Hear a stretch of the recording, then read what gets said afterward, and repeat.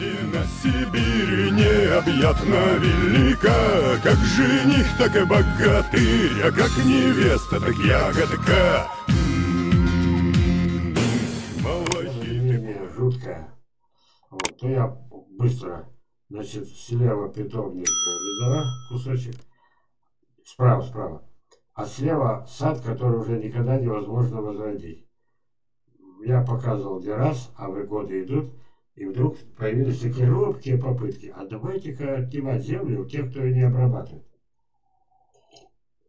Охватились. Тысячи деревень заброшены. Вот. Вспомните этот Алтай. Мне слезы текли, когда мне алтайцы показывали это все. Слезы текли. Ведь уже не возродить, понимаете, уже это бывшая пахотная земля. Раньше она называлась, значит, земля сельхоз сельхозназначения. Это значит, когда тут была такая история, 60 минусинцев хотели купить 60 гектар рядом с хутором, лучшее место не найти. Что им сказали?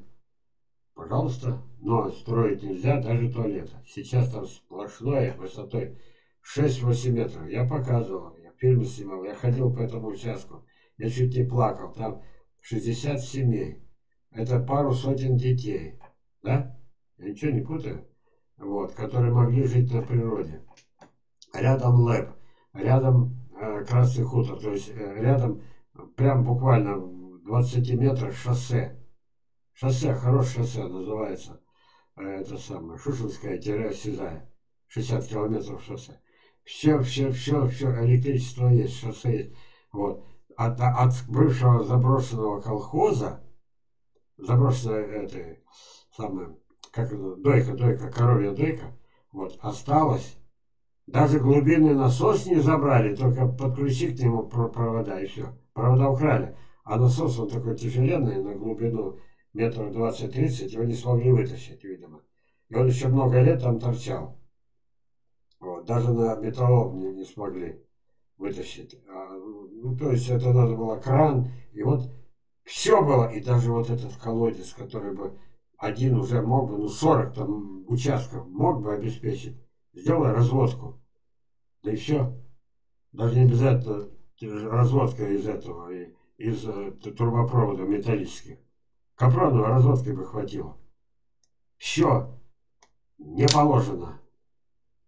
Туалет построить нельзя, не то что дом. И теперь все это заросло. И меня зло берет, потому что тот место, вот с той стороны, ну отсюда, где мы сейчас, это буквально 200-300 метров. А на юг, вот, ой, на юг, на запад, вот туда вниз, значит, здесь все заросло тоже. За 50 тысяч сотку мы не смогли за полмиллиона 10 соток купить. Нам показали шиш. Так. А вот это второе, видите, это тоже питомник. С, с этого же места снимаю. Вы видите эти, этот лес? Это был дачный участок 25 лет назад, 20. Хозяин почти достроил до крыши солидный дом, кирпичный, а потом он залез в долги, и чтобы сохранить свою жизнь, тогда это было запросто. Нету денег? Прощай, Вася. Так этот Вася так умотал отсюда. Вот, и с тех пор стоит, а продать не могут. И вот получилось, что это все теперь никого не купит. Настолько могучий лес, если близко смотреть, это, причем весь полностью зарос, сто процентов. Там грядку 2 на 5 не, пос, не, даже не сможешь эту грядку посадить. Все вот это. И время от времени, а мы же с вами россияне, я гражданин России говорю, это уникальное место. Здесь можно было э, вырастить не как вот, допустим, перед вами, ну сколько тут, ну полсотни взрослых деревьев абрикосов, а можно было бы не 50, а 500, 5 тысяч, 50 тысяч, всю округу кормить. Можно было. А для этого что нужно? Вот.